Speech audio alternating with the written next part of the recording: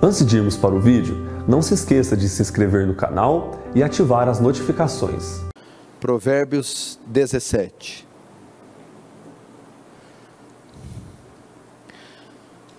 No versículo 15, diz assim: O que justifica o perverso, melhor tradução é o ímpio, o que justifica o ímpio e o que condena o justo, abomináveis ou abominação é para o Senhor, tanto um como o outro.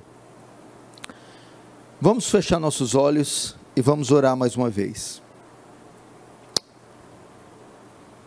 Pai Santo, mais uma vez recorremos a Ti e a Tua graça, pedindo para o Senhor nos visitar poderosamente com Sua palavra. Não há qualquer chance para nós, a parte da Sua graça, e não há qualquer chance para esse mundo perdido, fora do santo Evangelho de Cristo. Por isso eu peço, alcance essa noite vidas, almas, corações com a gloriosa mensagem do Evangelho. Anima teu povo, ergue teu povo, Senhor, para serem voz de Deus nesses últimos dias e proclamar a mais gloriosa mensagem, o Evangelho de Cristo. Que teu reino avance, que o Senhor receba glória para si e que sejamos conformados à imagem do seu Filho em nome de Jesus. Amém. Só um minutinho que eu esqueci meu retorno ali.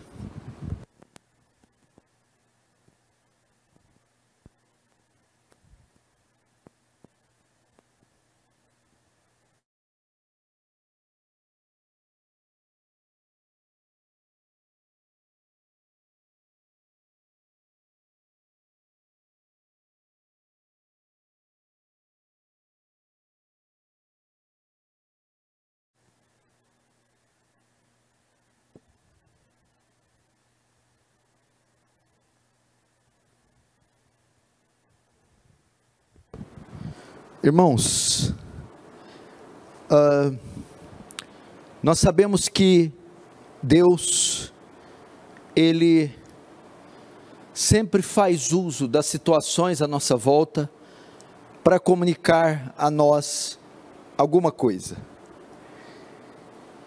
Esta tribulação que assolou o mundo todo teve muitas finalidades. Através dela, dela muitas coisas ocorreram em todo o mundo. E uma das finalidades desta pandemia, desta tribulação, foi revelar o coração de muitas pessoas. O coração dos homens, dos poderosos, dos governantes, de todas as classes sociais, foi exposto durante esses meses. E isso também serve para os cristãos, eles também não ficaram de fora. E muitos se manifestaram ante esta pandemia. E nós vimos muitos cristãos com medo da morte. É claro que todos nós temos um certo receio, um certo temor quanto à morte.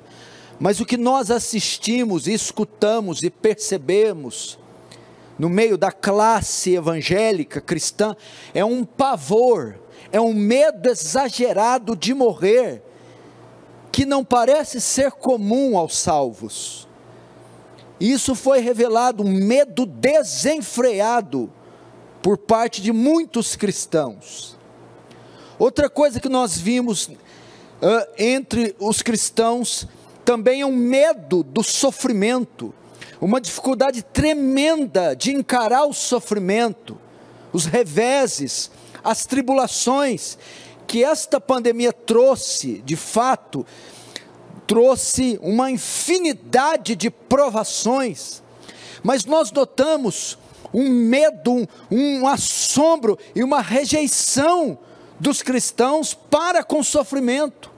A maioria não sabe lidar com o sofrimento, rejeitam, questionam a Deus, murmuram, é, ou se abatem de uma forma muito intensa diante do sofrimento. Outros, diante dessa pandemia, abandonaram a fé, caíram nos primeiros meses, não suportaram, desistiram de Cristo, apostataram, seguiram outro caminho. E tem ainda aqueles que, através dessa pandemia, seus pecados foram revelados e escândalos se mostraram entre o povo de Deus. Escândalos emergiram, vieram à tona e foram trazidos a público. Essas são algumas das coisas que aconteceram entre o povo cristão, dentre outras. A pandemia deixou todo mundo em polvorosa e mexeu de forma direta na conduta e na postura de muitos cristãos.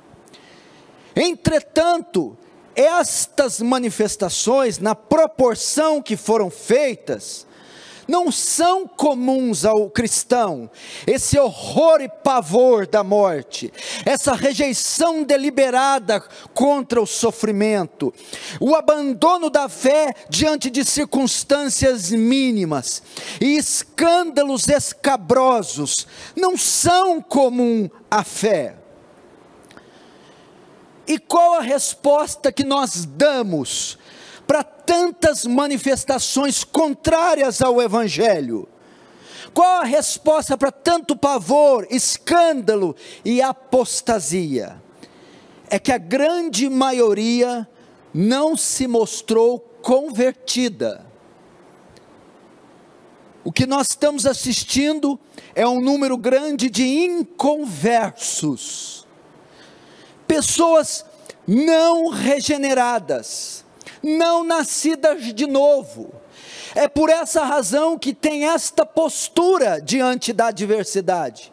É uma postura anticristã. Eu não estou dizendo que o crente não tem medo, sim, ele tem.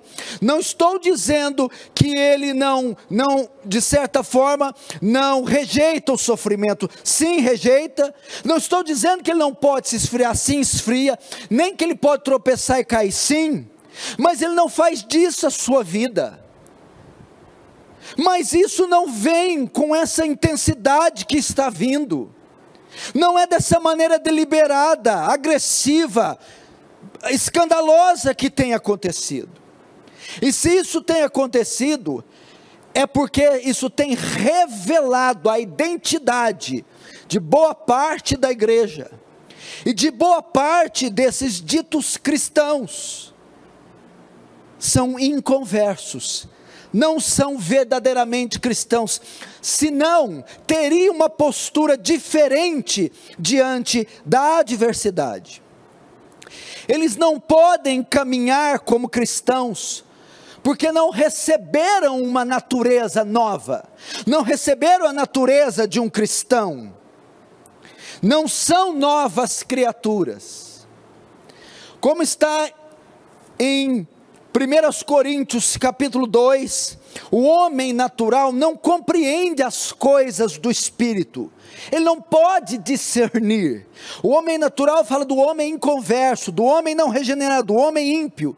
Ele não compreende as tribulações, ele não compreende a morte, ele não compreende, não consegue entender a justiça divina. Por essa razão tem acontecido esses resultados, porque vem de homens naturais, de homens inconversos.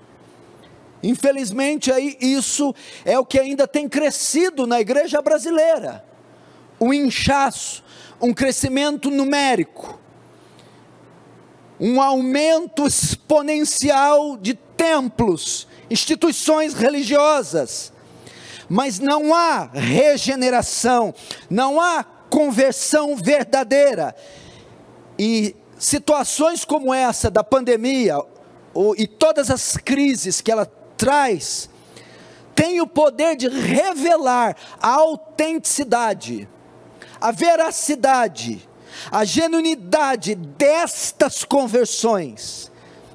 E muitas delas estão sendo reprovadas. Agora, qual é qual a razão? Qual é a razão dessa inconversão? Qual a razão de se crescer em número, mas não se crescer o número de salvos? Qual é a razão para não para essa, essa multidão de não convertidos? Porque parte da igreja tem se revelado ainda ímpia, parte da igreja tem se revelado não regenerada. Por que tantos escândalos envolvendo o nome de Deus, o nome de Jesus e a igreja de Cristo? Qual a razão dessa falta de conversão? Bem, a Bíblia diz que a salvação, a conversão, a regeneração, a salvação, só pode ser por meio da fé. Efésios capítulo 2, verso 6 diz: Pela graça sois salvos, por meio da fé.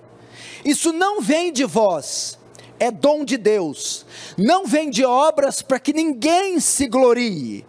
Então a salvação só pode ser alcançada mediante a fé. Um homem, um pecador só pode ser um salvo verdadeiro, só pode ter seus pecados perdoados, só pode ser justificado dos seus pecados mediante a fé.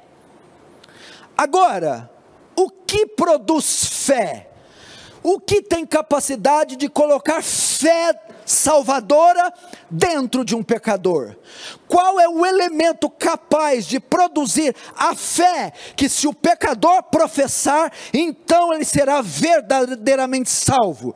Romanos 10, 17 responde: Ora, de sorte que a fé vem, a fé é produzida, a fé nasce, a fé que salva vem pelo ouvir e o ouvir da palavra.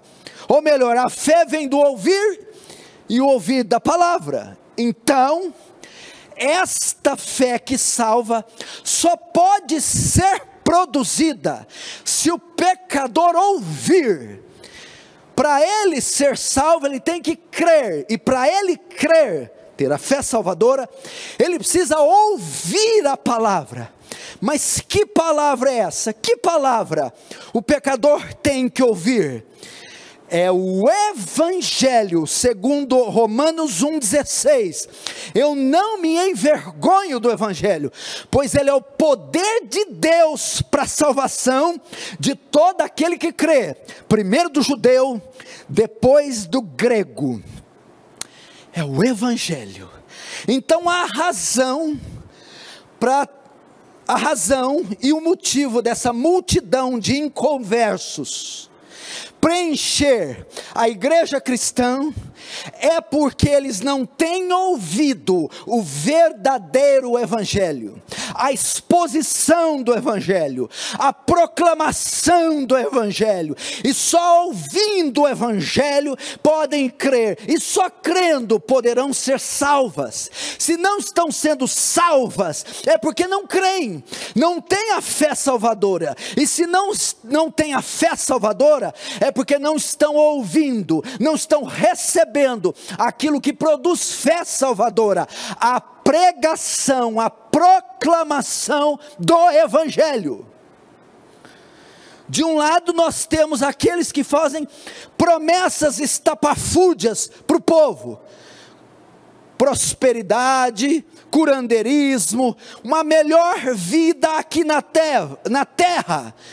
Me, é, Your best life now, sua melhor vida, conquistas, posse, saúde, felicidade, riqueza, emprego, estão ouvindo esse tipo de mensagem, autoajuda, teologia coaching, o antropocentrismo, Deus quer o melhor, quer a sua felicidade, quer a sua riqueza, quer a sua saúde, quer a sua beleza, quer te pôr por cabeça e não por cauda, quer te pôr em cima e não embaixo, quer te dar os reinos. E, e, e insufla nos pecadores dias, meses, anos, décadas essa mensagem, de forma que essa mensagem não pode produzir fé, e não produzindo fé, eles não podem ser salvos, e não sendo salvos, continuam inconversos, pecadores continuam debaixo da ira de Deus e de um juízo iminente,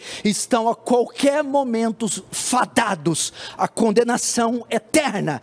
Por isso, ao serem pressionados na mínima e menor tribulação, eles mostram que a sua natureza ainda não foi regenerada, pertence ainda ao seu pai Adão e dão frutos do seu pai Adão.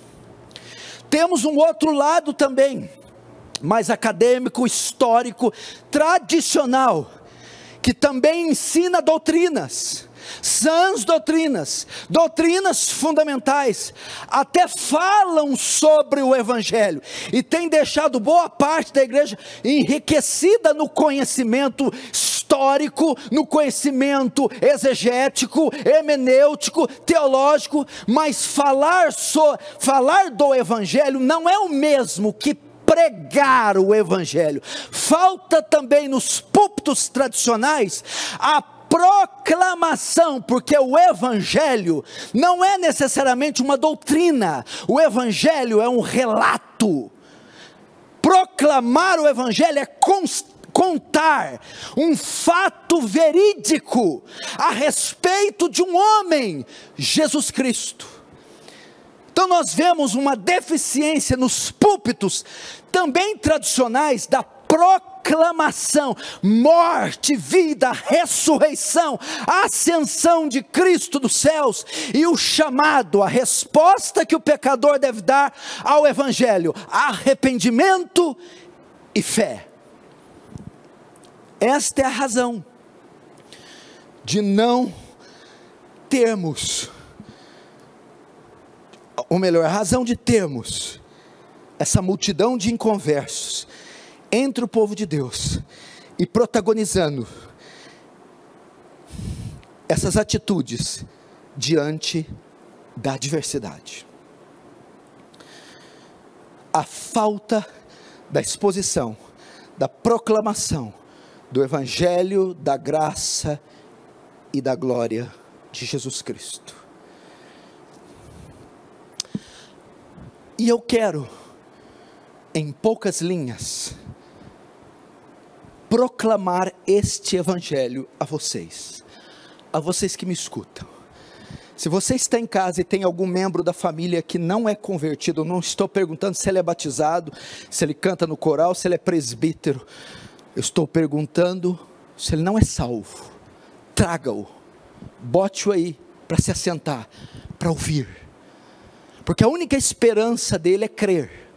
E o único método dele crer é ouvir e ouvir o Evangelho. Se você tem uma esposa, um pai, um irmão, um filho, bote ele sentado aí, para ele se concentrar e ouvir. E nós ficaremos na esperança da ação soberana de Deus, da ação sobre-humana do Espírito Santo, em chamar ele para essa graça. Agora, o que é o Evangelho? o que é o Evangelho de Cristo, o Evangelho da graça e da glória. O grego, quando diz evangelion, da ideia de a boa notícia, a boa mensagem. Que mensagem é essa? É uma mensagem de salvação, onde um Deus justo justifica pecadores injustos. Um Deus justo, um Deus justo, perdoa pecadores injustos. É a boa notícia que um Deus justo, um Deus santo, um Deus bom, agora perdoa, salva, justifica pecadores injustos. Entretanto, nós temos um dilema aqui, e isso é o coração do Evangelho, é onde eu quero entrar, é o texto base da minha mensagem. Provérbios 17, 15, coloca diante de Deus, diante de nós, um dilema.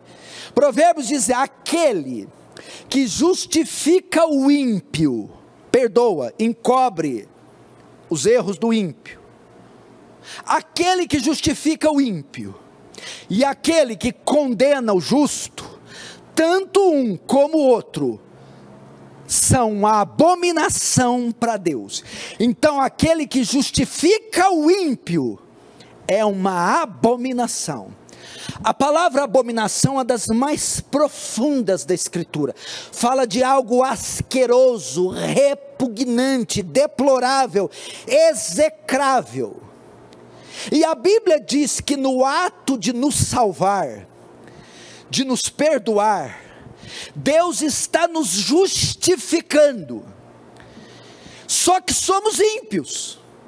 Aquele que ele traz para a luz, ele traz quando este é ímpio. E aqui entramos num dilema: como Deus justifica um ímpio sem se tornar uma abominação, como diz Provérbios. Porque ele não pode simplesmente salvar, abrir o céu, colocar todo mundo e fazer vista grossa para os nossos pecados.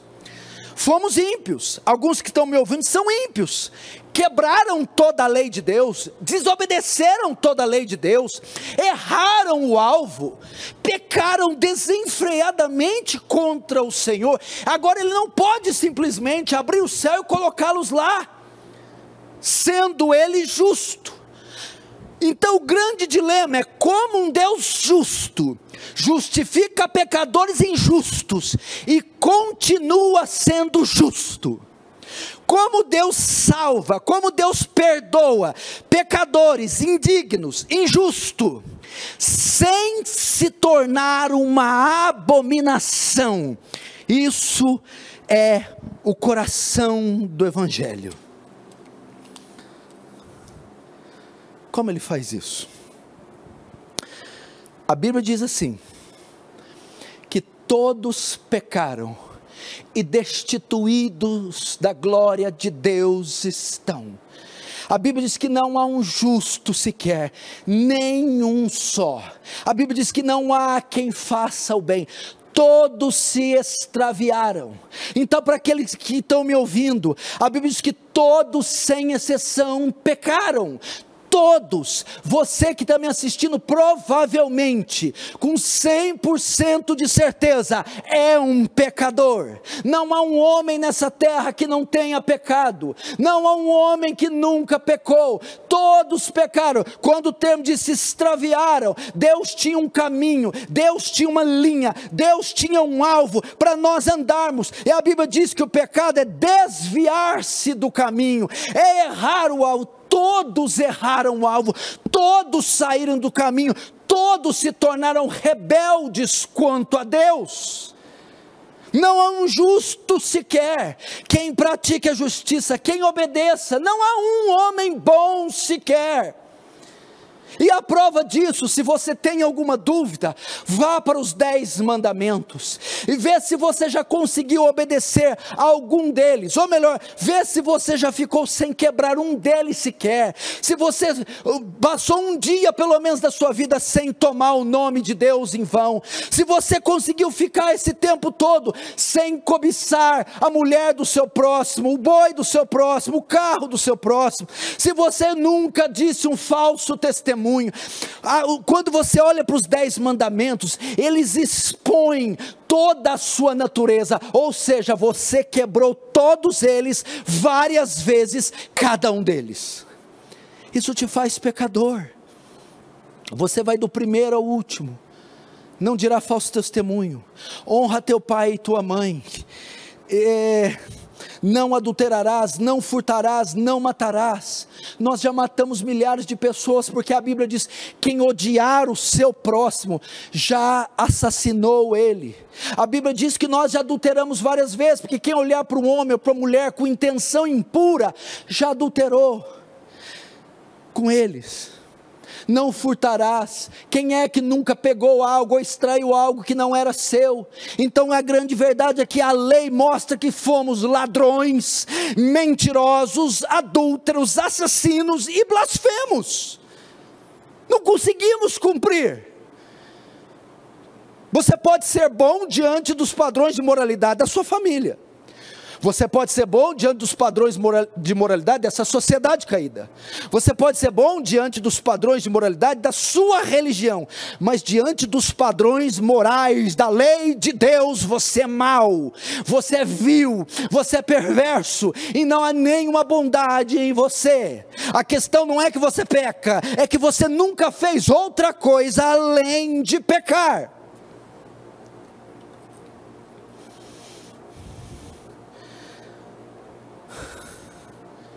E agora, vem a pergunta, o grande dilema, a grande pergunta da história humana: como um homem pode se tornar justo diante de Deus? Como um homem pode ter estes pecados essa bateria de pecados, desde a sua meninice, de Gênesis 8, desde a concepção, disse Salmo 51, num ventre de pecado, me gerou, me concebeu minha mãe. Como o homem pode ter esses pecados cobertos? Salmo 32 diz: Bem-aventurado o homem a quem Deus não atribui o pecado, em que cuja transgressão é coberta. Como Deus pode cobrir a transgressão de serial sinners como nós? Como Deus pode não atribuir nosso pecado? Ele é justo. Ele não pode fazer isso, senão ele se tornará injusto. É mais ou menos assim: nós temos um serial killer em Franca, um assassino. Ele mata dez crianças, todas crimes hediondos. No décimo primeiro crime, conseguem pegar ele. Ele invadiu uma casa e ele está com a criança, morta em seus braços, cheio de sangue. A polícia consegue pegá-lo. Então, ele vai passar por um tribunal. Ele é réu confesso, ele confessa os 11 homicídios. E ele está num tribunal diante de uma corte e um juiz vai julgá-lo. De repente, esse juiz é um juiz muito bom e amoroso. Ele olha para o serial killer e disse assim, e diz assim: Olha, como eu sou bom e amoroso, eu não vou te condenar. Eu vou te soltar. Ele simplesmente dá um veredito e solta, livre de todos os crimes. Esse juiz presta? Esse juiz é justo? Não, ele é injusto. Ele se tornou uma abominação soltar um serial killer, um assassino que matou 11 crianças de forma hedionda. Se o juiz é bom, o que ele faz? Ele tem que sentenciar e condenar esse serial killer a mesma coisa, se nós quebramos toda a lei de Deus, se tudo que fazemos é pecado, como Deus pode simplesmente cobrir? Como simplesmente pode não atribuir a nós a culpa desses pecados? Se ele fizer isso, ele, ele passa a ser uma abominação. Ele não é justo. Deus, se for justo, tem que nos condenar, nós temos que pagar para os nossos crimes, temos que ser punidos, porque é justo assim fazer. Agora, Deus não pode simplesmente cobrir, não atribuir, salvar e nos perdoar. Então o grande dilema é como Deus faz isso, como Ele justifica o ímpio e continua justo, como Ele justifica o ímpio sem se tornar uma abominação, como um homem pode se tornar justo diante de Deus? Resposta: na cruz de Cristo. É através da cruz de Cristo. Quer ver? Abre em Romanos capítulo 3. É através da cruz de Cristo. Romanos 3, 20 diz assim: Visto que ninguém será justificado diante dele, ninguém pode se tornar justo diante de Deus pelas obras da lei, em razão de que pela lei vem o pleno conhecimento do pecado. Esse foi o erro fatal dos fariseus. Eles queriam obter o perdão, eles queriam ser considerados justos diante de Deus, eles queriam ter os pecados cobertos mediante o cumprimento da lei. E Paulo vai dizer: ninguém pode ser perdoado, ninguém pode ser salvo por cumprir algum rito religioso, evangélico, por tentar obedecer a, a, a, palavra, a vontade de Deus, a lei, e merecer a salvação, e obter a salvação como prêmio da sua performance. Isso é impossível. E tem muita gente confundindo santificação com justificação. Como assim? Tem muita gente tentando ser salva, garantir a salvação através da sua performance em obedecer a Deus, em se santificar. Há um equívoco muito grande, isso é um, um, mero moralismo. Tentar agradar a Deus, andar, ser reto diante de Deus, com a finalidade de ser aceito, perdoado e ter a garantia da salvação em dia. E Paulo derruba isso disso. Ninguém pode ter os pecados cobertos, não atribuídos. Ninguém pode ser justificado mediante as obras da lei. Então, como um homem pode se tornar justo diante de Deus? Verso 21 responde: Mas agora, Vamos pular o sem lei. Mas agora se manifestou a justiça de Deus, testemunhada pela lei e pelos profetas. Mas agora, esse agora é, mas através do evangelho, através da vinda, encarnação de Jesus, se manifestou a justiça de Deus. O que, que é isso? através do Evangelho, é, através do Evangelho, a justiça por qual devamos ser salvos, se manifestou, apareceu, e a Bíblia diz, mas sem lei. O que é sem lei? Independente da lei, a justiça que nos salva, que nos torna justos, não depende da lei não é necessário observar a lei, não precisa se cumprir a lei.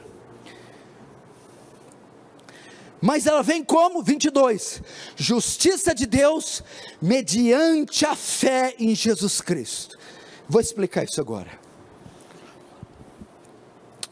O que, Paulo, em outras linhas, está dizendo aqui? Como um homem pode se tornar justo diante de Deus? é a doutrina que chamamos justificação. O que quer dizer esse termo justificação? É um termo forense, é tirado do direito, é o ato o qual Deus, no seu tribunal, nos dá uma sentença favorável e nos declara legalmente justo. Justificação não nos torna justos porque continuamos pecadores depois que convertemos, não é isso? Então justificação não nos torna justos, a justificação nos trata como justos, nos declara como justos. Suponhamos que vamos para o campo agora forense. Nós estamos em um tribunal. Pecados são como crimes. A Constituição é a Bíblia. O juiz é, é Deus. Nós pecamos, infringimos a lei, a Bíblia, os mandamentos. Deus, como juiz, deve retribuir a infração feita, pecados. E como ele retribui? ele dá uma sentença conforme nossa infração. E qual é a sentença? Condena à morte eterna, ao inferno. O que, que é a justificação? Neste mesmo tribunal, ao invés dele nos condenar, e dele imputar nossos pecados a nós e cobrá-los de nós, dar uma sentença a nós e nos exigir condenação, ele faz o contrário. Nos leva para esse tribunal, ele nos dá uma sentença favorável. Nós que somos ímpios, injustos, impuros, neste tribunal, ele nos declara justos. Ele nos justifica, nos trata como justo. O que é tratar como justo? Nos trata como se não tivéssemos pecados. Nos trata como se fôssemos sem pecado nos absolve, nos dá uma sentença favorável, então nos justifica. Ou seja, como está em Romanos, agora o pecado não terá mais domínio sobre vós. Ou outro texto que diz: quem intentará a condenação contra os escolhidos? É Deus quem os justifica e quem os condenará. Agora nenhuma condenação há para que estão, para aqueles que estão em Cristo Jesus. Então, ninguém pode mais acusar, ninguém pode mais condenar. Não, de agora em diante, nenhuma condenação há mais para os que estão em Cristo. Por quê? Porque no tribunal de Deus, Ele nos deu uma sentença favorável, nos declarou legalmente justos. Essa é a justificação. Agora, continua ainda o dilema. Como Deus faz isso? Sem se tornar uma abominação, sem se tornar um juiz iníquo, sem se tornar injusto. Como Ele faz isso e ainda continua justo? Porque se Ele é justo, certo é dar uma sentença contrária e não favorável. O certo é condenar e não perdoar. O certo é despejar a, a pena e não salvar. Como ele faz isso? Através da cruz de Cristo. Através da cruz de Cristo. Através do seu Filho Jesus visto que a raça humana estava debaixo de pecado, estando de pe debaixo do pecado, estava debaixo da maldição. A Bíblia diz que em Gálatas 4:4, e chegando à plenitude dos tempos, veio Jesus nascido de mulher fala da misteriosa, da gloriosa encarnação do Verbo, encarnação de Deus, encarnação do Espírito, a encarnação do Filho de Deus, para que Deus nos desse uma sentença favorável para que Deus nos perdoasse, nos declarasse justos, sem se tornar um Deus injusto ou ser uma abominação. O Filho dele despojou da sua glória e se encarnou, se revestiu de pele, músculos, nervos e ossos e se tornou humano como nós. Primeiro a encarnação, para você entender como Deus justifica um ímpio sem se tornar abominação. Primeiro, se encarna. Segundo, se encarnando e tomando a nossa forma. Ele foi o único homem da história que obedeceu toda a lei. Ele cumpriu todos os requisitos da lei de Moisés, sem falhar um só sequer, em nenhum segundo dos seus 33 anos de vida. Quando ele foi ao Rio Jordão ser batizado por João, João Batista se assusta e diz: Eu que careço ser batizado por tu, Jesus, e tu é que vem a mim? Ele diz: Não, João, calma. Convém assim fazer para cumprir toda a justiça de Deus. Como homem, eu devo observar todos os princípios destinados para o homem. Eu vou me batizar em obediência ao cumprimento da justiça divina. Jesus também disse que nem um tio ou jota da lei, eu lembro desse texto, só abrir aqui um, um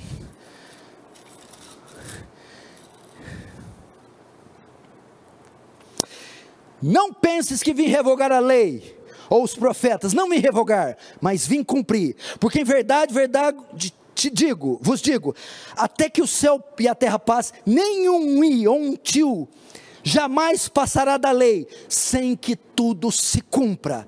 Então ele se encarna e ele é o único homem que obedece com exímia perfeição toda a lei de Deus a cumpre com perfeição, ao ponto de subir no alto do madeiro, e quando tudo estava em perfeita harmonia com a vontade do Pai, ele diz: Está consumado, está tudo feito, está tudo pago.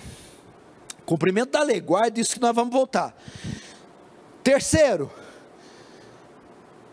ele vem, se encarna, cumpre toda a lei e agora é condenado pelas autoridades religiosas a ser crucificado.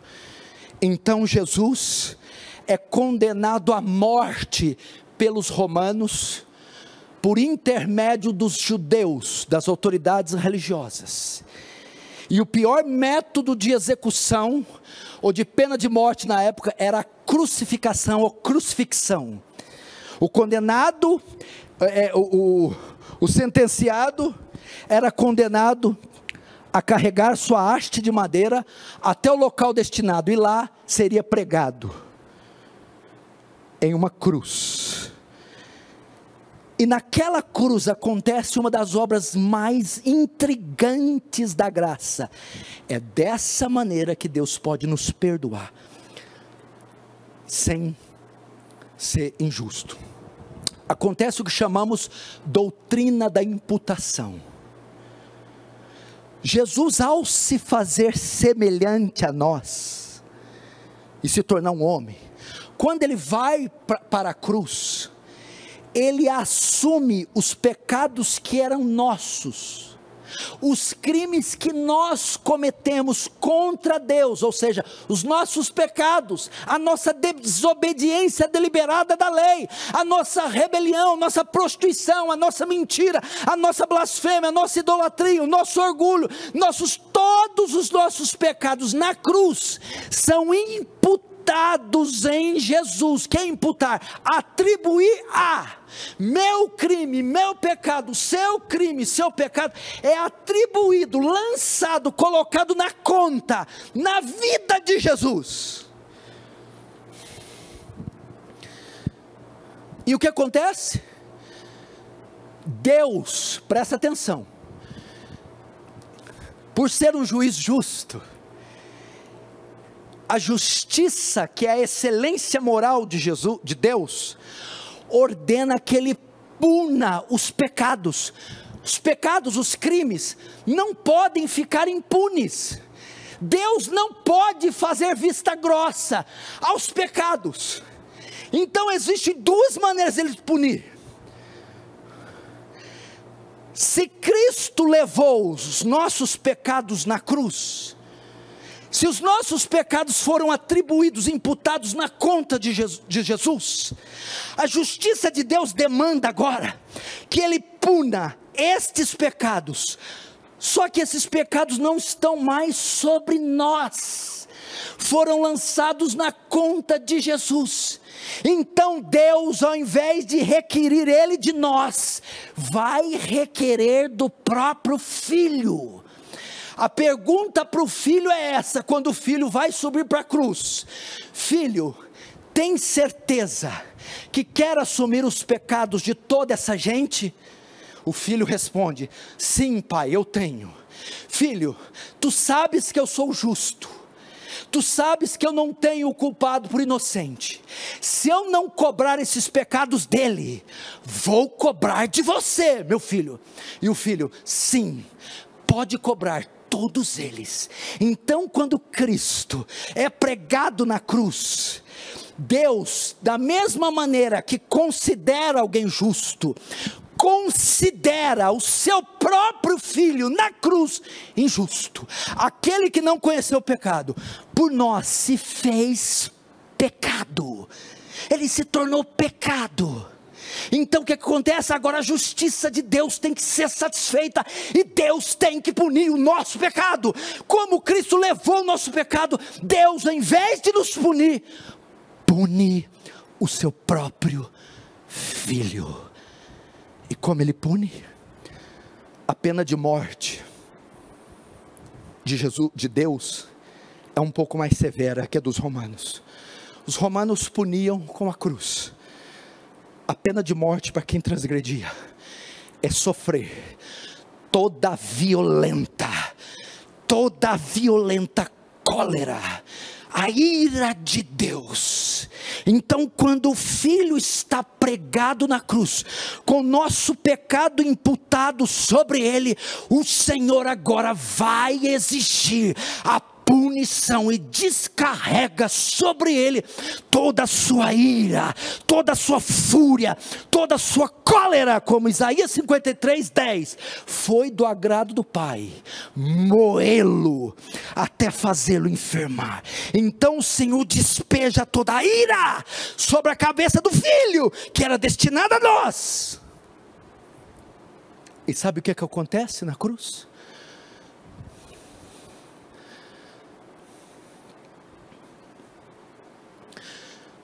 O filho não aguenta.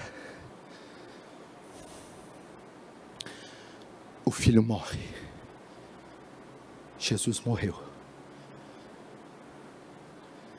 Jesus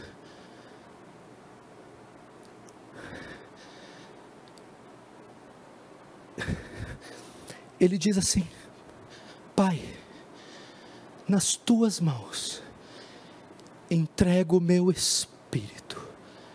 E tendo dito isto, expirou. Jesus morre. Morre.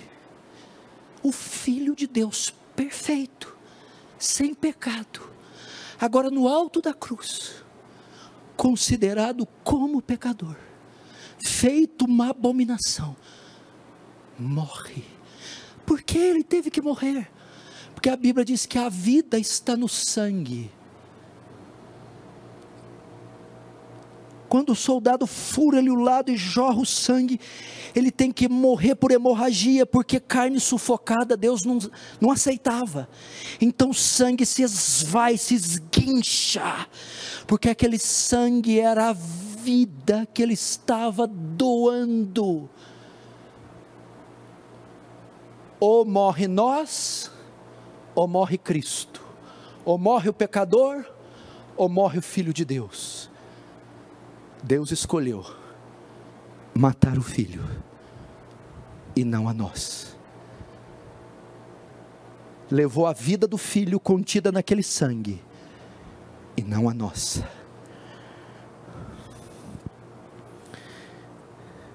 Assim, a dívida que Deus tinha conosco, nossos crimes, nossas transgressões que nos renderiam à condenação, o inferno, foram pagas por Cristo. Nossos crimes, nossa culpa foi levada por Cristo. A condenação que nos era devida, a punição que nos era devida, pelo Filho ter levado os pecados sobre eles, foi infligida sobre ele, foi lançada sobre ele. Então, quando ele morre, ele paga por, por, pelos meus pecados, quita minha dívida com Deus. Ele me absolve ele satisfaz as demandas da justiça de Deus no tocante às minhas transgressões. Ele paga pelos meus crimes, Ele leva a culpa pelos meus crimes, e Ele é punido pelos meus crimes com a Sua própria vida. Mas, isso não é suficiente para nos levar ao céu. No máximo, impediria nós de irmos para o inferno, porque agora não temos pecado, está pago. Então, para o inferno não podemos ir, mas também para o céu não podemos, não temos méritos para ir. Aí é que acontece o segundo fenômeno, segunda obra da graça estupenda, a doutrina da dupla imputação. No terceiro dia, Jesus ressuscita dos mortos. Quando ele morre, nosso pecado é imputado sobre ele, culpa, dívida, crime, transgressão, infração da lei. Quando ele ressuscita, conforme Romanos 4, 25, ele morreu por nossas transgressões, mas ressuscitou para nossa justificação. Na ressurreição ocorre a doutrina da dupla imputação. Lembra que eu falei que ele cumpriu toda a lei de Deus e foi o único homem perfeito? Pois então, o cumprimento total da lei dá a ele méritos dá a ele honras, faz dele o único homem justo, o único homem digno, e faz ele vestido todo de justiça. Quando ele morre na cruz, nosso pecado é imputado a ele. Doutrina da imputação. Segundo, doutrina da dupla imputação. Esse mérito que ele recebeu por cumprir toda a lei, essa dignidade e essa justiça que foi foi por ele vestida na cruz, ele imputa a nós. Ele coloca o mérito por ter obedecido à lei na nossa conta. Ele pega a sua veste de justiça e veste a nós. Ele pega a sua dignidade e faz homens indignos dignos, faz homens injustos justos. Então, nós agora fomos justificados, declarados justos, tivemos os pecados cobertos, perdoados, fomos salvos por Deus, sem Ele se tornar injusto. Como? Ele pune nossos pecados na vida do Filho e toma a justiça do Filho e coloca em nós, de modo que agora somos salvos, perdoados, não para as nossas obras, não para os nossos méritos, não pela nossa justiça, mas pela justiça de Cristo. A salvação, o que eu vou falar, não é heresia, não, hein? A salvação, de certa forma, é pelas obras. Salvação é pelas obras, pelas obras de Cristo, pelos méritos de Cristo.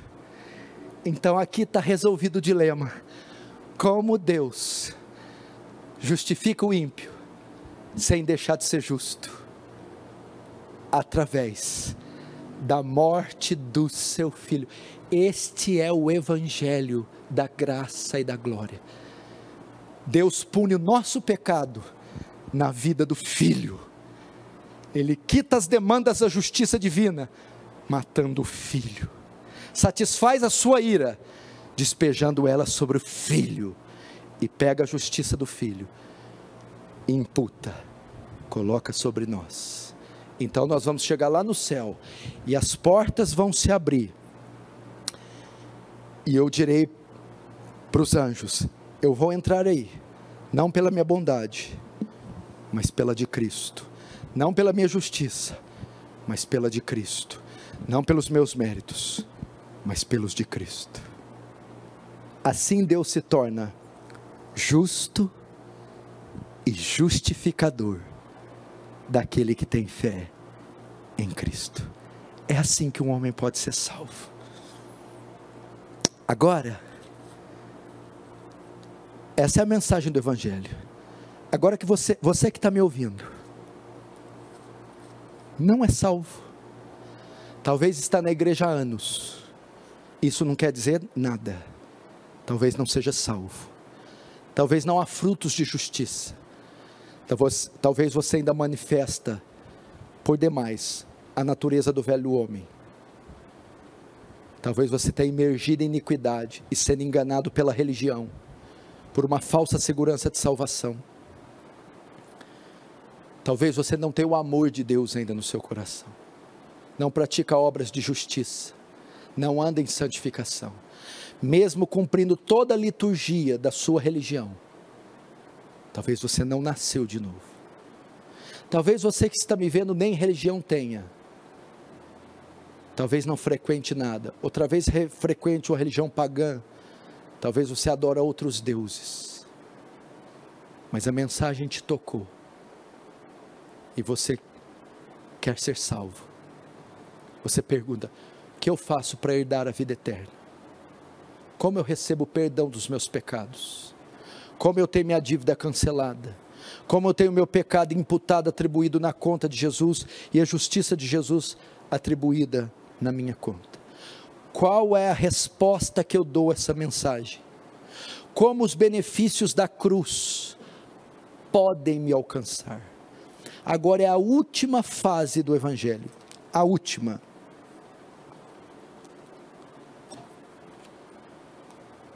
A resposta que o pecador deve dar à proclamação do Evangelho, à pregação do Evangelho, ao ouvinte, ao pecador que está ouvindo. Você deve responder essa mensagem com arrependimento e fé. Arrependimento e fé ao ouvir essa exposição, ao ouvir a mensagem, você deve se dar conta que não obedeceu à lei de Deus nenhuma vez sequer, que é um pecador. E você deve se voltar para a vida de pecado que você tem levado. O arrependimento aqui não é um sentimento de um ato. Ah, me arrependi de ter ido naquele lugar ontem, me arrependi de ter feito aquilo. O arrependimento aqui é mudança do seu próprio conceito. Eu me arrependo de ser a mulher que eu sempre fui. Eu me arrependo de ser o homem que eu sempre fui. Eu me arrependo.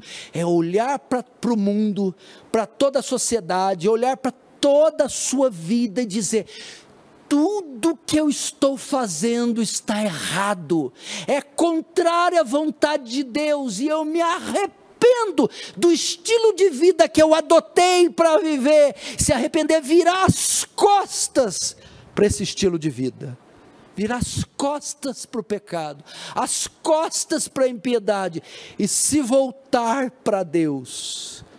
E eu quero chamar você ao arrependimento Abandone os pecados, abandone essa vida iníqua, abandone a iniquidade, abandone a injustiça, a imoralidade, a depravação, abandone e volte-se para Cristo. Segunda resposta: arrependimento e fé são simultâneos. O que é fé? É olhar para essa mensagem e ver o desespero da sua alma, e olhar para você e ver que não há nada em você que atribua algum mérito, que todas as suas obras, sua bondade, suas orações, sua caridade, para Deus são como trapo de imundícia e que não te garantem nada, e é olhar para esse desespero e correr para Cristo, correr para aquela cruz e dizer: perdoa-me, salva-me, eu lanço minha fé, minha esperança de perdão, de redenção, na Sua obra, na Sua morte, na Sua ressurreição, no Seu sacrifício, e nele eu descanso, e nele eu confio, nele eu coloco a minha fé, sem nenhuma obra, sem religião, somente Cristo somente a fé. Fé aqui é confiança, esperança no sacrifício e na pessoa bendita de Jesus. Se você se arrepender e crer, seu Espírito Santo produzir essa obra em você, então você é salvo. O martelo do céu é batido, você tem uma sentença favorável e é declarado legalmente justo diante de Deus. E pode cantar comigo e com todos os outros santos ao redor do mundo. E agora, nenhuma condenação há para os que estão em Cristo Jesus. Essa é a boa notícia. E a boa notícia é que ela está disponível para você que me vê.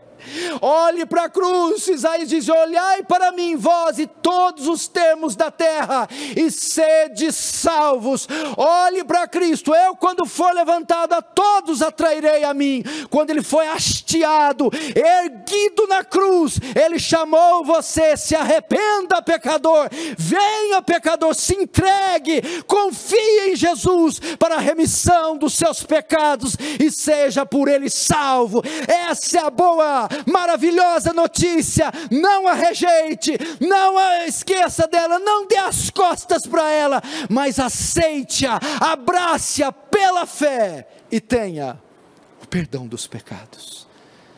Irmãos, essa é a mensagem que a igreja brasileira está precisando. É isso que você precisa pregar nessa pandemia. Está muito, muito, muita gente querendo só a vacina, a cura e o medo de morrer. Jesus foi claro em Mateus 10, 28. Não temais quem mata o corpo. Preocupações físicas, temporais. Antes eu vos digo quem deveis temer. Temei antes aquele que tem poder para lançar tanto o corpo quanto a alma no inferno. Não são corpos que estão correndo perigo, não são empresas não são leis nem partidos, perseguições, são almas que estão em jogo. Enquanto o evangelho não for proclamado, elas continuarão, continuarão perdidas. E há de ser que todo aquele que invocar o nome do Senhor será salvo. Mas como invocarão em quem não creram? E como crerão de quem não ouviram? E como ouvirão se não há quem pregue? E como pregarão se não forem enviados? Como está escrito, quão formosos são os pés daqueles que enviam, que pregam as boas novas. Precisamos resgatar essa mensagem nos púlpitos, a proclamação do Evangelho. Irmãos, temos pouco tempo, os pecadores estão debaixo da ira de Deus e na iminência do juízo divino, e a única mensagem que pode salvá-los é a mensagem do Evangelho. Oremos.